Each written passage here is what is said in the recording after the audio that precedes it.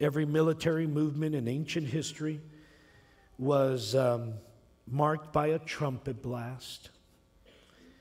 The Bible says this and the dead in Christ will rise first.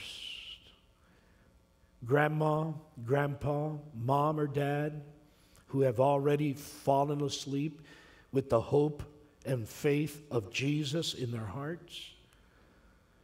Their souls are in heaven, their bodies are encrypted here on earth. But one day Jesus will return.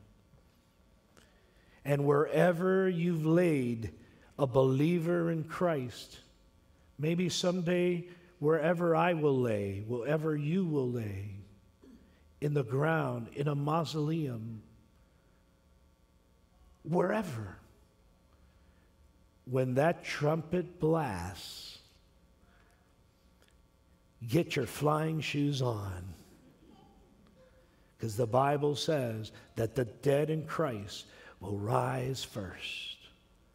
And then those of us who are still alive will fly in the air to meet with the Lord.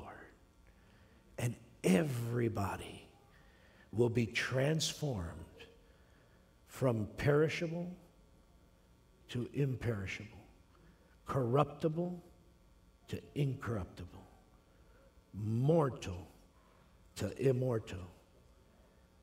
We know this because our Redeemer lives.